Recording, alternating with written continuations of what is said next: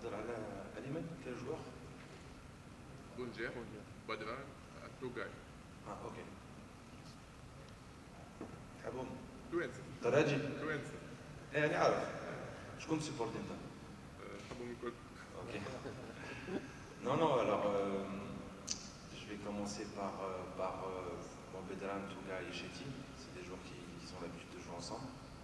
Euh, bon, Bedran, c'est un joueur, c'est un joueur maintenant qui fait partie de l'équipe A. On va parler de Touga, est jeune joueur euh, qui sort de la formation euh, du LERT, si je ne me trompe pas, euh, formation algérienne, justement qui s'est exporté euh, très tôt à, l'Espérance de Tunis.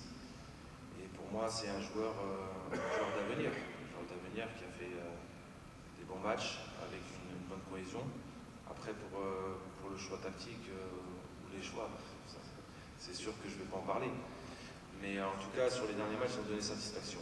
Et pour Bagdad, bah, c'est, bien que, les gens se rendent compte que Bagdad est très important. Euh, c'est vrai qu'il y a des, situations lors du deuxième match où que voilà, certaines critiques, et quand il n'est pas là, les gens lui disent Touhash Bagdad. Donc non, non, c'est quelqu'un qui pèse énormément dans les défenses, même si des fois il n'a pas l'opportunité de marquer, il est là, il met de la pression sur les défenseurs, il crée des espaces. Euh, l'heure d'aujourd'hui, ses statistiques, si on ne compte pas l'Égypte, parce qu'il est sorti à la mi-temps, il a deux buts, une passe donc euh, il, est, dans les clous, il a une mentalité de gagneur.